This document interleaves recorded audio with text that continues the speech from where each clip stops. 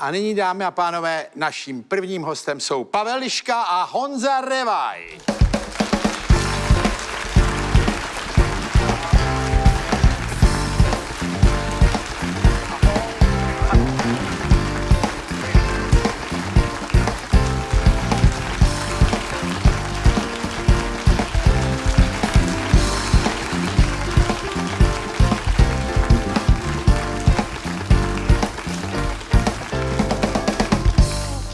Pánové, Liška a Revaj jsou sice herci, ale teďko mají za sebou takovou, bych řekl, významnou akci, událost, zážitek. Jak dlouho jste zpátky? Uh, tři měsíce? Tři měsíce. A my si tady podíváme rovnou na takovou ukázku. Vy jste cestovali jak dlouho? Tři měsíce po Střední Americe? Necelý tři měsíce. Necelý tři měsíce po Střední Americe na motorkách, jako takový vlastní projekt Los Vagabundos, nebo jak se to jmenovalo? Los? Vagabundo. On je los a já jsem Magamundos. No. A tady to je vlastně taková ukázka nebo upoutávka už z té cesty. No, ale musím říct, že je to něčím obdivuhodný, jako se takhle vypraví. A myslím si, že je to správný. To si myslíme taky. No taky no. I když u vás, Pavle, nevím, vy jste nějak měl malý dítě, druhý malý, hodně malý, No, měl, měl. a žena věděla, že jedete? Ale zároveň převážel ten názor, který říkáte vy, No. e, protože já jsem si říkal, že když to neuděláme teď, tak to neuděláme nikdy a, To tak je, no. a tak jsme to prostě museli udělat. No a e, vy jste si nechali tam postavit, vy jste jeli tři teda. Mm-hmm. Vy dva, ještě kolega, ten dělal to snímání, nebo říkal? Hinek Bernard, no, my jsme se točili všichni navzájem. Všichni tři jsme Jo, ale on měl kamery. tu supervizi A jako on to. byl hlavní Hlavní kameraman. kameraman. Ale co jsem koukal, tak on to dělá krásně teda. Nádherně. On to dělá taky dobře, no. A taky tam teda je co natáčet teda taky.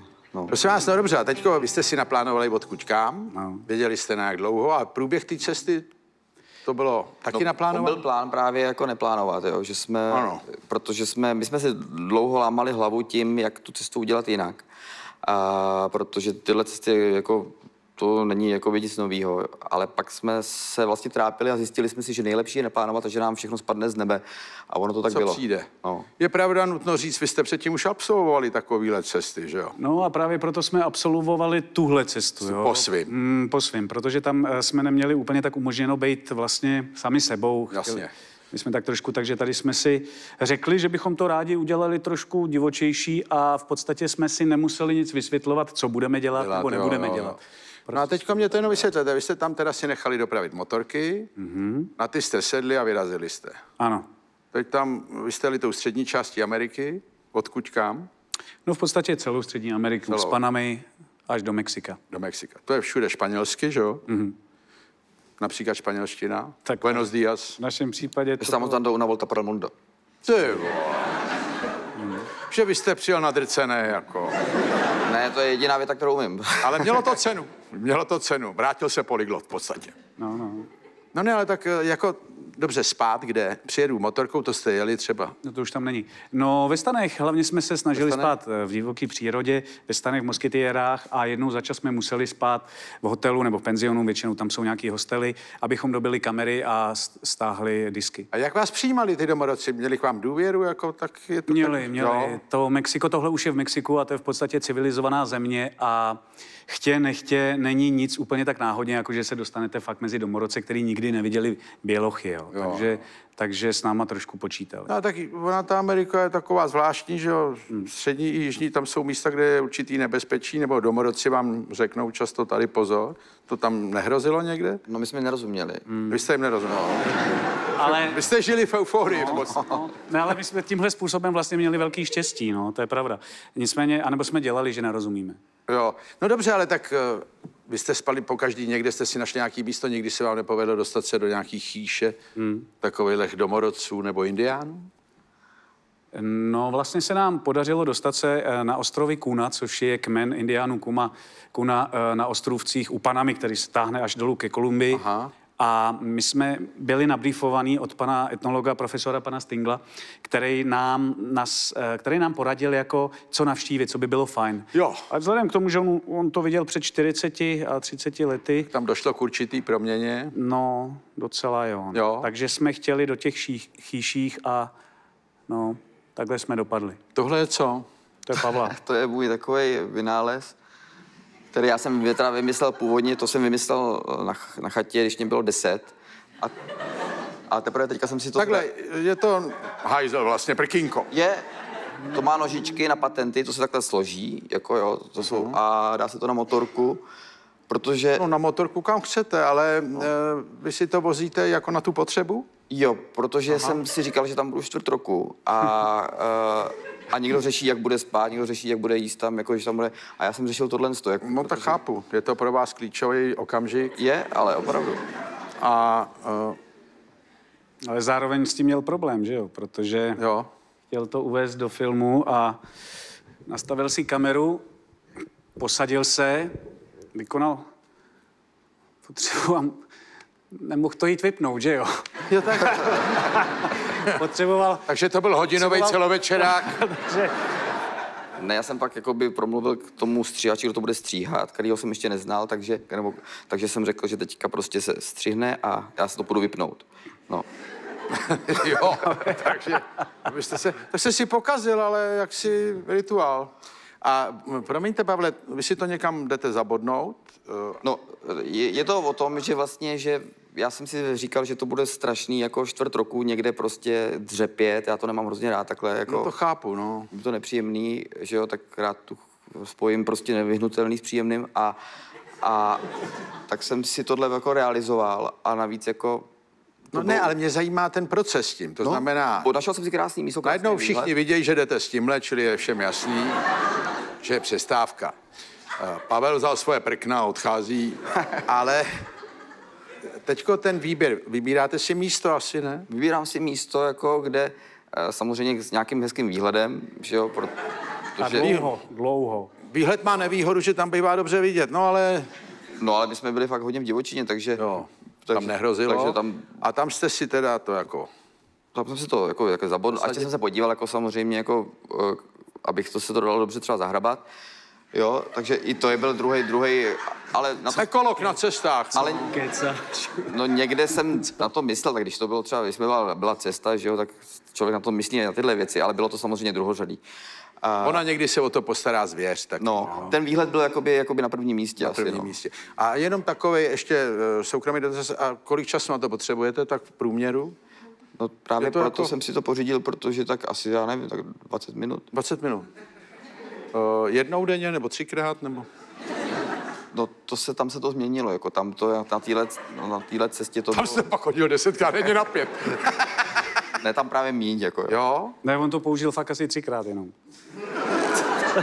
Takže to vez úplně zbytečně. Celou dobu měl...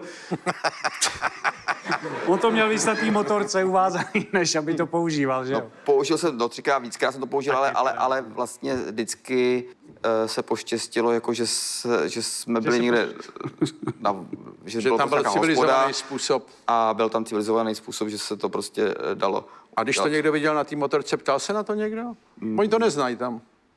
No, oni mají tam prkínka, nebo mají No tam? málo, málo, nemají. Oni mají tu mísu, ale nemají prkínka. Mají prkínka. No. A nejhorším, když byla mísa, mohl jste si na to dát svoje, že jo?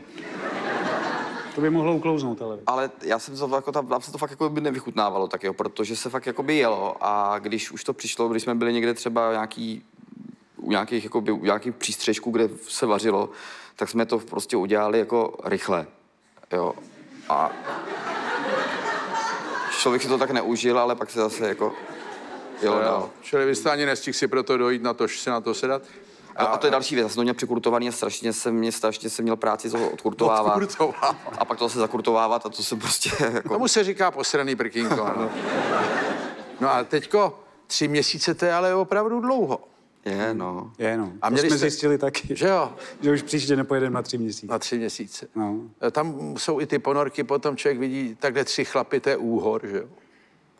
Není? No, my, my jsme vlastně jako jeli který, tři chlapy, kteří jsou jakoby podobně na tom, jako, že jsou jako, že mají věci, vnímají podobně a chtějí podobné věci zažívat, ale prostě ta ponorka tam přijde, jo. No a furt se dívat na ty dva stejný ksichty, No. jo? Jako je to tak? Chlapský. Je to tak, no. Pe- U té ženy člověk najde nějaký zalíbení, když se ani dívá, ale... Zase na druhou stranu občas, když se podíváte, tak je tam i sranda. To jako...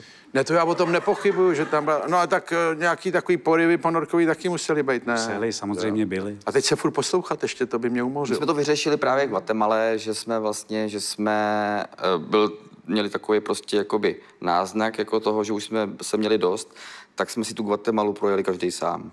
A to Jo. bylo skvělé. To byly, pro mě to byly nejkrásnější čtyři dny teda.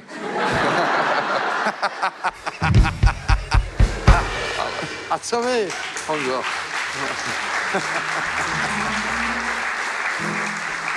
Ale to, No já jsem vlastně, já jsem to vytušil, že Pavlovi se blíží perioda, tak jsem Jo. zalásil právě, že by bylo fajn se rozdělit trošku a v tu chvíli to přišlo a bylo to správně a užil jsem si to minimálně stejně tak dobře jako Pavel bez ní. Vy jste měl druhý malý dítě, kolik bylo tomu menší? to jsem měl právě. Já jsem měl problém, že to první, to jako rodně, ta, ta větší mě poznala, když jsem přišel a, a Ale vy mluvíte o návratu teď. O návratu, jo, Já tak- mluvil o odjezdu. Kolik Jo, o bylo odjezdu, asi. mladší dceři, když jste odjížděl? no tý bylo asi půl roku. Asi půl roku, jo. No, nebo ne, tak tři čtvrtě a... Prostě nebylo to přes rok, jako. Ne, tři čtvrtě, tři čtvrtě, protože uh, roč, narozeniny, když byl rok, tak jsem nestihl. Takže tři čtvrtě. Tři čtvrtě. No a když jsem se vrátil, tak rodička mě poznala a ona se probudila vedle mě v posteli, jo. jo. A, a, a Rika právě na mě koukala jako, co to je tam je zase za dalšího chlapíka v té posteli, No ale to, kousatýho. ale to vaše paní je velmi velkorysá, že vás takhle nechala si vycestovat, že jo? No, Jsou děti takhle malí, no. velkorysá je, ale ono to taky nese všechny věci, které nejsou vidět, jako jo, to, to prostě jako já jsem přijel a já jsem prostě jako to docela pěkně jako se vším všudy, jako já jsem, No tak, hele, když jste se vrátil, jste si měl rozmyslet, jako. jste se vrátil a čekal jste uvítání, jako, nebo co?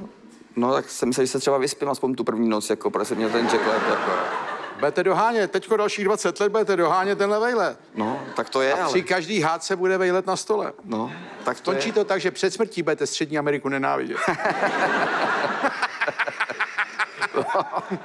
A vy to máte teda jako lepší? Já to mám o Trošku. kapičku lepší, protože uh, Nebyli já teda na rozdíl od Pavla tu cestu plánoval už rok a uh, doma jsme se na to tak jako nějak připravili, takže já jsem neměl jediný zádrhel, ani já, jsem to, já to nemám tak vtipný, no, protože u nás No to tak, tak jako... funguje, vykoupený no. humor tohle. Právě, no.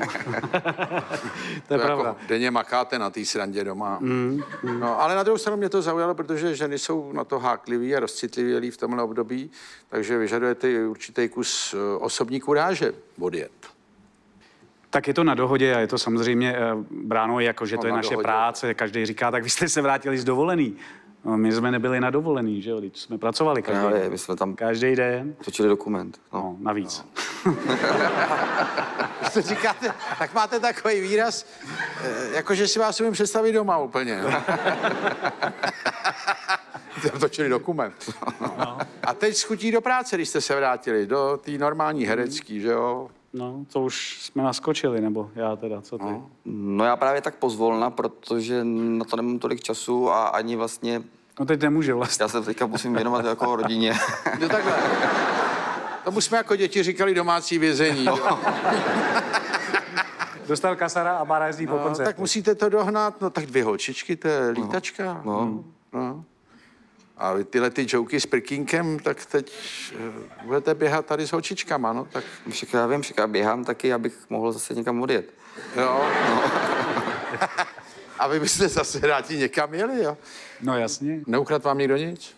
Ne, ne, ne, šli jsme o jeden dron, protože Hinek s tím napálil do stromu jednou. Ztratili jsme dvě goučka, myslím, no. Jinak, Jo. jinak všechno. Asi jsme měli velký štěstí, protože jak jsou ty předsudky, jak se, oni nás všichni, i místňáci tady, jakoby cestovatelé, ale i ti, co byli tam, říkali, jako, že jsme blázni, že takhle jedeme, hmm. jako vy tady sami, jako ještě v těch motorkách, ale e, přitom se nám nic nestalo. A, ale že i ty místňáci nás prostě varovali, takže asi jsme nějaký štěstí měli, i když tam ty předsudky budou, že to je prostě nějaký drsný, Nebezpečný. nebezpečný, hmm. ale prostě všechno nám padalo z nebe. A taky jsme se otrkali. My jsme ze, ze začátku byli opravdu dost opatrní, že jsme se všude ptali a jestli můžeme a pak už jsme se moc neptali a ono to taky fungovalo. No. To je krásný. Mně se to zdá krásný, co jsem z toho viděl, ty kousky. Jo, nám taky. A že to je, jste si říkali vandráci, nebo jak si říkáte? Jo, to jsem zapomněl, to vám, to vám právě dává Pavel. Takhle, takhle se tak nějak. Vandráci. A jak Máte je ten španělský výraz? Va- Vagamundos. Vagamundos. Vagamundos. Vagamundos. Ono totiž vagabundos a pak je vagamundos. Ano, Jo. vagabundo je něco jiného. Vagabundos jsou takový, jsou pova, takový vandráci povaleči, ale vagamundos, mundos, jako svět. Jo, vy už učíte španělsky, tak. No, ne. On je dojemný. On umí jednu větu, ale umí ji učit. No a jedno slovo k tomu. Vagamundos, mundos, ne? Mundo. A hned si hraje na jebáčka profesora. Ale nejlepší bylo, že opravoval každýho toho místního. Tam je říkal, eh, vagabundo. No, Ne, ne, ne, ne. No, vagabundo. vagamundos. Vagamundos. A vagamundos je teda co? To je vandrák, který právě eh, kočuje z místa na místo, jako, jo, který není le- lenoch a který prostě pendluje. To je vandrák. No ale tak to je krásný a no, to je vlastně vaše značka. No, to je vaše teď už. Teď už je to moje, děkuji moc krát. Vagamundos, Pavel Liška, Honza Revaj.